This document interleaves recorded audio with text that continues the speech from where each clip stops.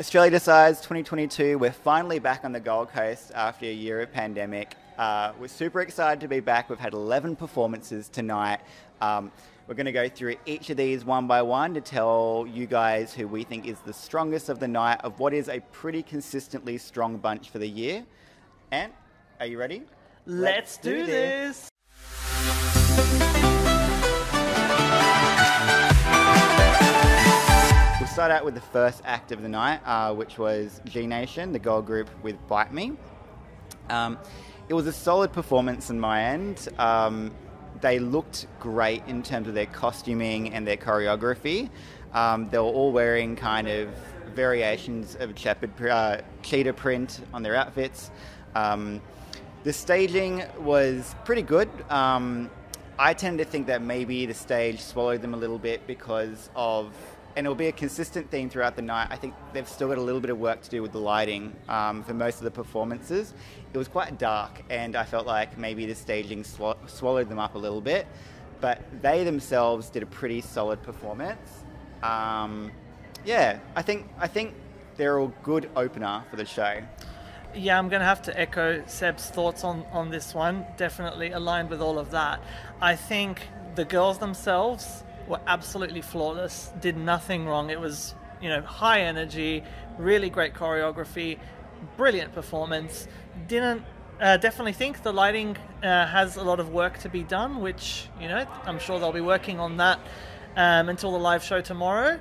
Um, and also, I wasn't a big fan of the staging. They had um, on the LED just pictures of their faces essentially which you know they they were they were not the only ones to do that, but I think it felt a little bit unnecessary for this song. Could have kept it really simple, put on you know a nice little graphic on the LED would have probably worked a little bit better for me. But yeah, the girls themselves were amazing, and I thought overall this was a great performance and the perfect song really to kickstart the show. Perfect. Uh, second performance tonight was the TikTok winner Erica Padilla with To the Bottom. Uh, your thoughts, Ant? Yeah, so uh, she's rocking a blue outfit. It had shades of Jessica Mauboy uh, almost. Um, that's the vibe I got at the start. I thought it was an absolutely amazing performance. Obviously, she got here on the basis of her voice, which won her that TikTok wildcard spot and that is the weapon that really sold this performance as well. Again, I thought the lighting, especially at the start of the song, was a little bit off, but again, I think that will be worked on and fixed before we see the live performance of this. Um, but again, vocally flawless. The song is just such an earworm for me. It was definitely one of my favorites coming into the contest, and I think it will stay one of my favorites after it as well. This is not one of my favourites coming in, but I was pleasantly pleasantly surprised with how it turned out. I think the best way I can describe this is this is everything that probably Jess Mauboy wanted to be back when she performed in uh, 2019. 2018. 2018. Yeah. It's everything she wanted to probably be in 2018. Uh, the outfit and choreography and staging was all on point. Um, she did a really good job for someone who probably doesn't have stage experience. So, like, kudos to her. Still, probably not one of my favorite songs, and that's probably what does let it down in my eyes. But she did everything that she could have done with it for the stage, and it was a really good power ballad in the end. Um, yeah. Third performance of the night was Seann Miley Moore with My Body.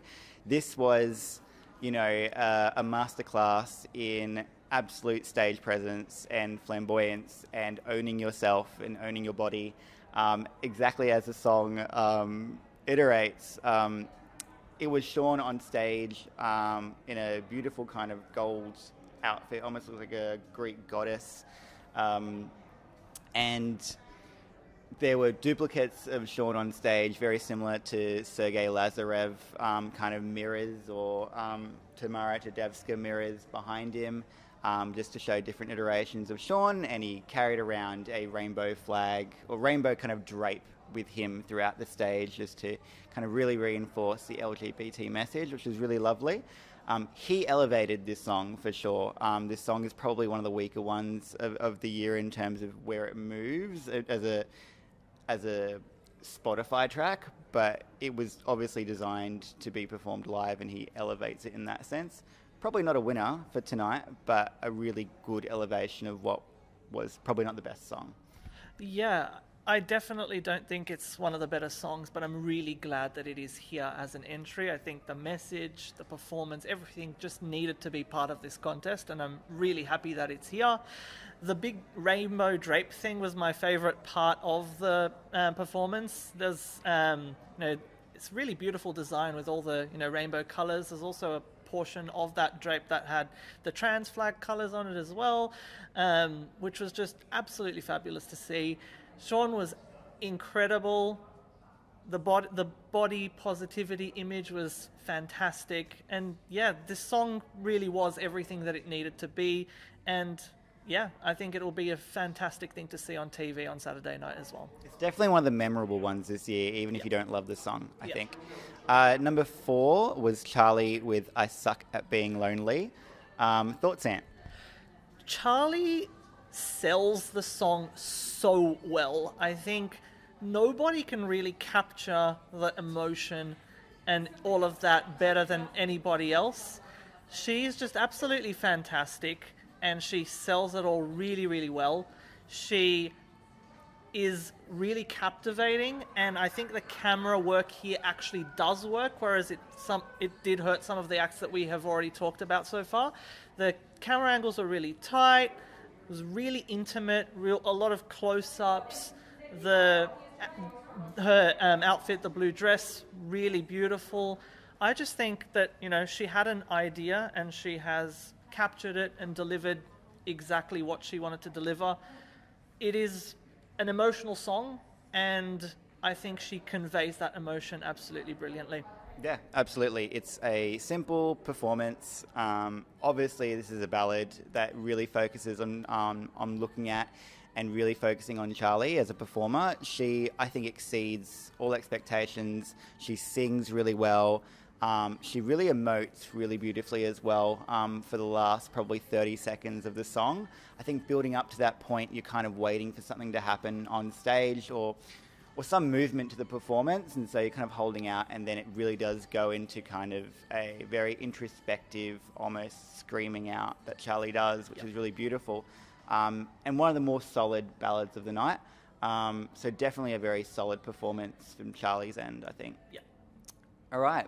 Song five was Andrew Lambrou bringing, br- definitely bringing sex, bringing sex back onto the stage for sure with Electrify. And Well, yeah, that's that's a great way to sum it up. Really, honestly, coming into the coming into the contest, definitely on the lower end of my rankings of all the songs. Uh, and he came out wearing this jacket, and I was like, "What is going on here?" The staging, a lot of red in the background. My first thought was Benjamin Ingrosso. My second thought, which was probably a little bit more accurate, was Luca Hänni. She got me. Um, very, very red. Then the jacket came off. We're in the Gold Coast. Sun's out, guns out. That is the selling point here. Um, yeah, I mean, his energy on stage was absolutely fantastic. And yeah, he did elevate the song from what I thought was pretty average to one that, you know, I look forward to seeing on Saturday night. Um, at the very least, as, you know, a part of the whole lineup. Yeah, uh, I feel like we're in a agreement mode tonight. Um, but definitely, this was an elevation. Um, look, I like this song. It's definitely a radio hit that you'd hear like from MNEK nowadays. And as he came out, 100%, Luca Hänni was what I thought as well. And he came out in a trench coat, and we're like, well, that's definitely coming off. You can tell that trench coat's coming off in this performance, and it did. And the guns are out, and all these dancers were just grinding on him super suggestively. I kind of loved it because we hadn't seen that on stage tonight. It'd been really safe up to this point. Uh, Andrew's vocals actually were pretty good Yep. um, for a track that's very um, kind of auto-tuned and, and use a lot of uses a lot of production. His voice actually did really stand out um, in the live performance. Yep. Um, definitely, his moves, his choreography is the kind of stuff you see at midnight um, in a club. Um, you know, just dancing on the floor. It's not.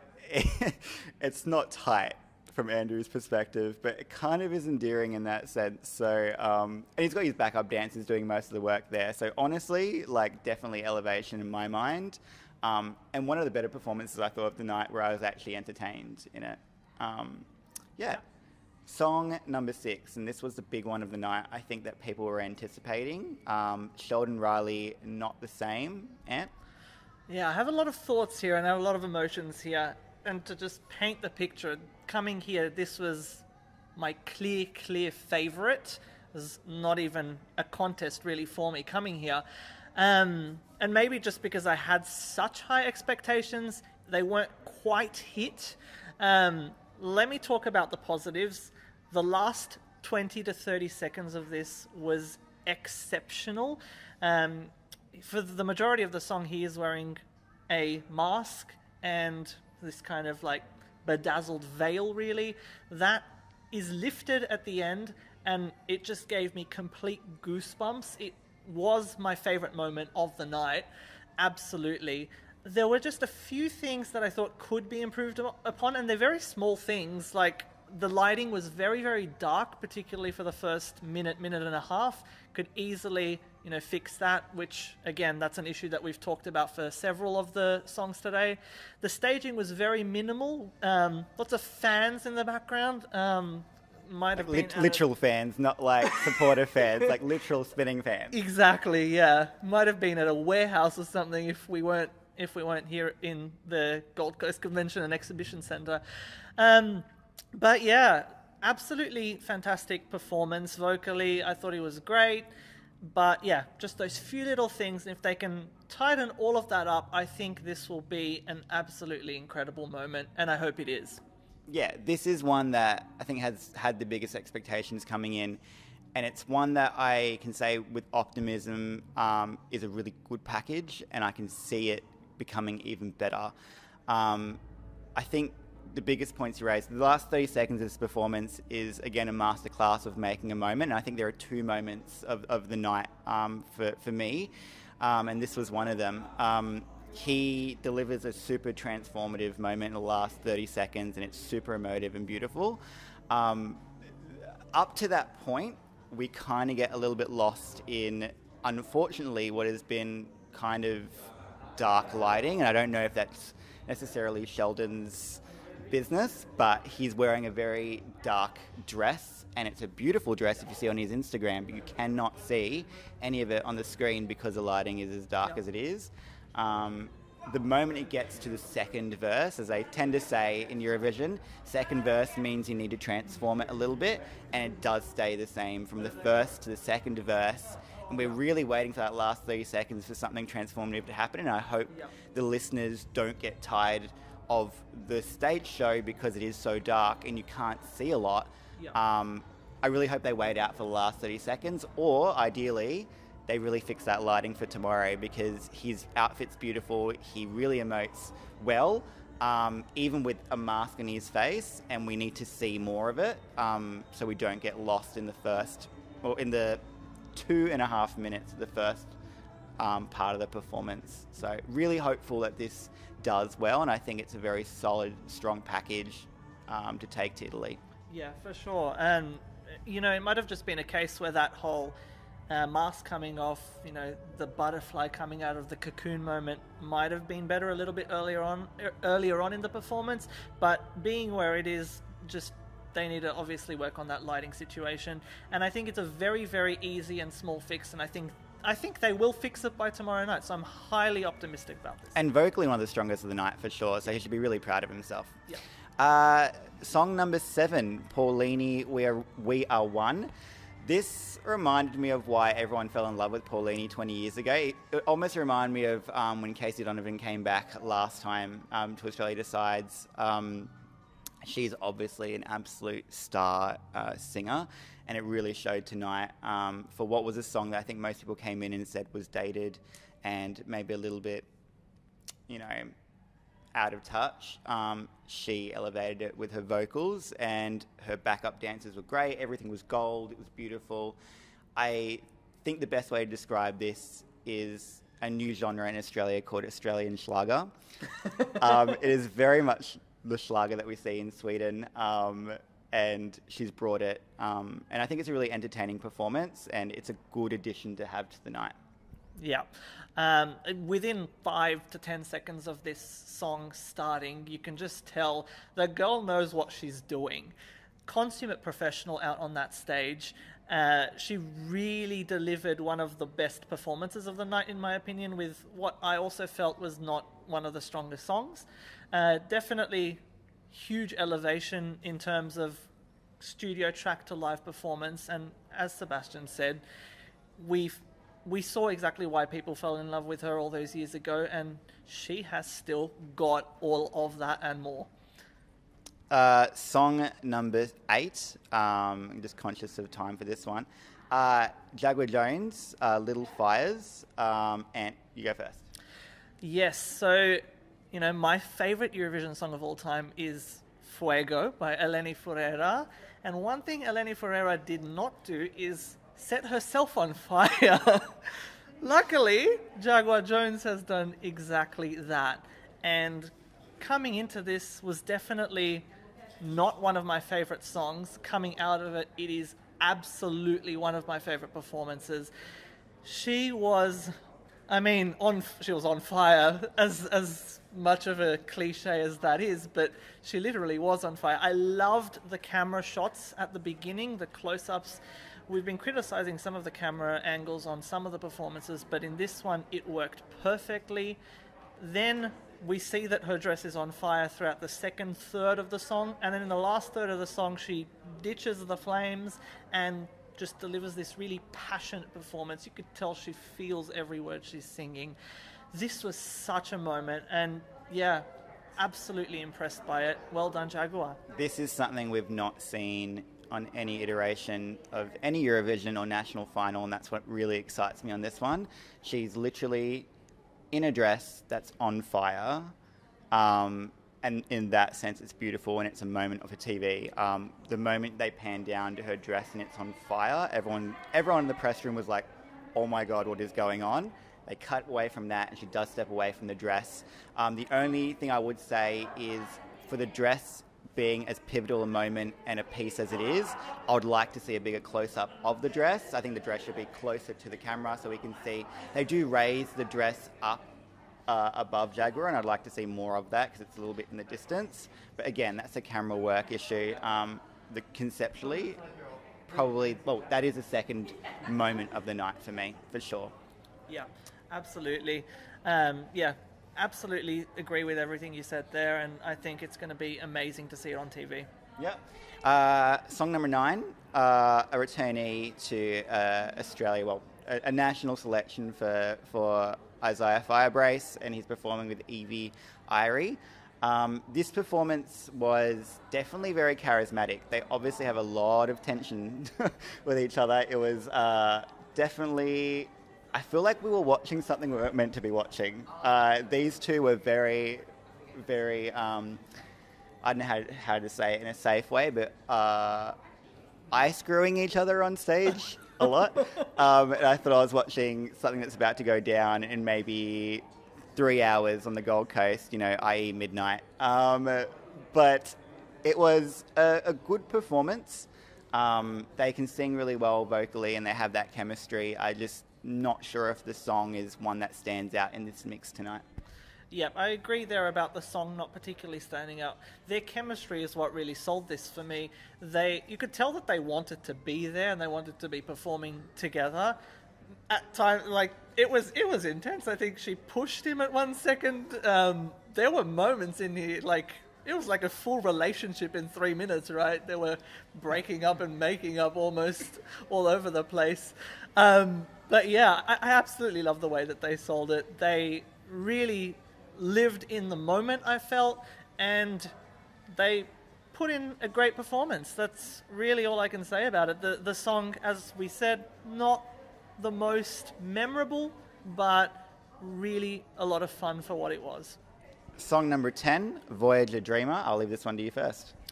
Wow. So Voyager is a hard one to talk about because I felt we were kind of deprived of some of it. The first 30 seconds of what we saw in the media room was basically pitch black darkness. We couldn't really see much on screen. I think there was an issue with the lighting there.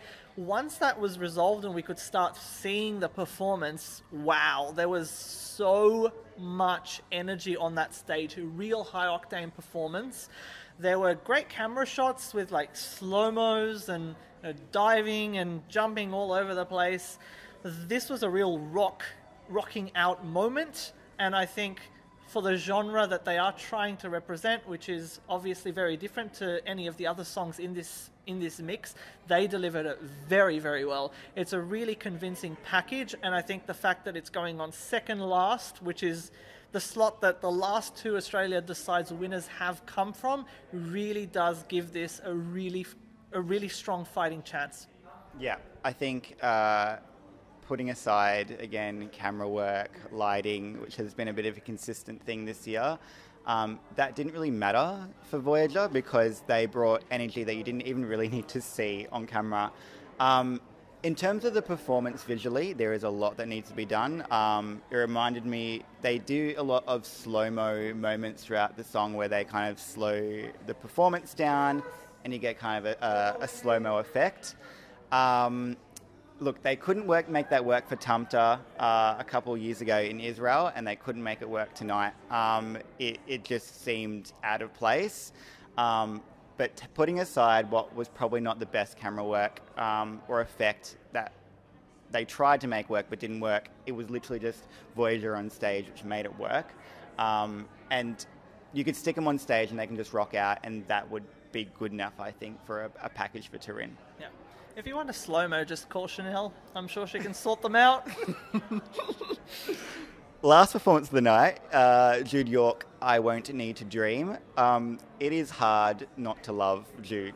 Um, he's so sweet. Uh, you can tell he was completely, completely elated to be on stage, um, to the point where he felt like he was just dancing on his own uh, and gave um, no cares of who was watching him on stage. He was uh, dancing and twirling, and it was great. And he's super endearing, and the song is really beautiful.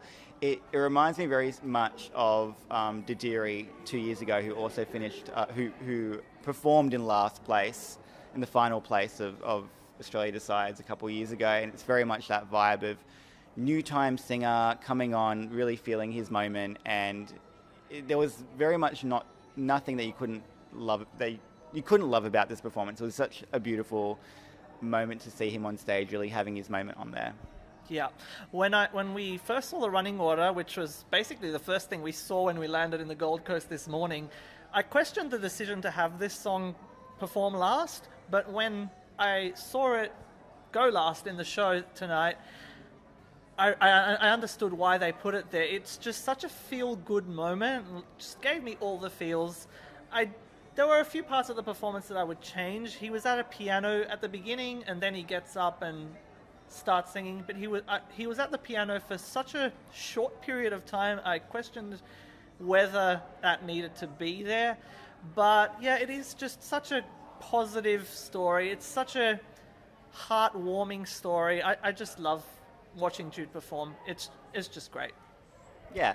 Uh, quickly wrapping up, who are our favourites of the night? Um, without probably doing a top three. Um, I think my favourites of the night uh, is probably down between the two that had moments tonight, and that would be Sheldon and Jaguar. Um, probably putting Sheldon just a little bit above that because his vocals are stronger, and he, I think he delivers a package that maybe is a little bit more relatable um, if he took it to Italy. Um, and I'm sure all the kinks with lighting can be worked out um, but Jaguar definitely presents a moment as well with that dress. So I think they're the two strongest uh, opportunities to go to Lisbon. Yeah, Sheldon started out as my number one when we got here. It still is my number one. However, I would say that it is not as clear cut as it was before because there were so many other really great performances. Jaguar's big moment was memorable. I think it probably got the biggest reaction in the press room when we saw the dress on fire. It was her Katniss Everdeen moment. I just absolutely loved it.